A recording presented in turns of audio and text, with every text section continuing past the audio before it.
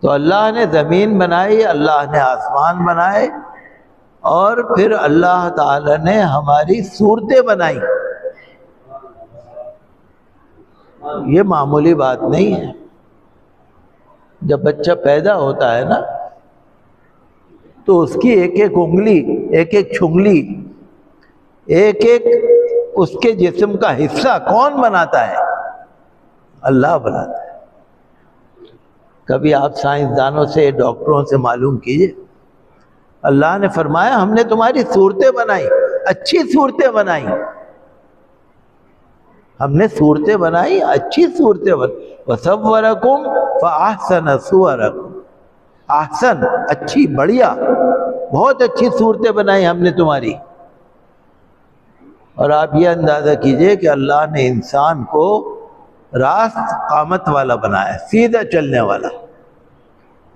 دو پیروں پر چلنے والا۔ جتنے جانور آپ کو ملیں گے، چوپائے ملیں گے، وہ سب جھک کے چلنے والے ہیں۔ چوپائے۔ اللہ نے انسان کو بنایا سیدھا چلنے والا۔ دو پیروں پر چلنے والا۔ یہ بھی ایک عزت کی بات ہے۔ سارے جانور جھکے ہوئے ہیں، سارے جانور زمین پہ جھک کے چل رہے ہیں۔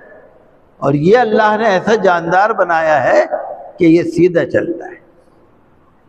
اور کتنے اللہ نے ایک جسم بنایا، بہت اچھا جسم بنایا۔ فَآسَنَ سُوَرَكُمْ وَرَزَقَكُمْ مِنَ الطَّيِّبَاتِ۔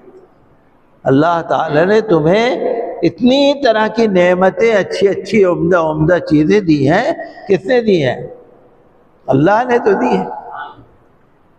جتنے یہ ہریالی ہے، جتنے یہ پھول ہیں، جتنے پیڑ ہیں، پودے ہیں، جتنے فروٹس ہیں، جتنے ڈرائی فروٹس ہیں، جتنی جڑی بوٹیاں ہیں، جتنے کھیت ہیں، اناج ہیں، کس نے بنائے؟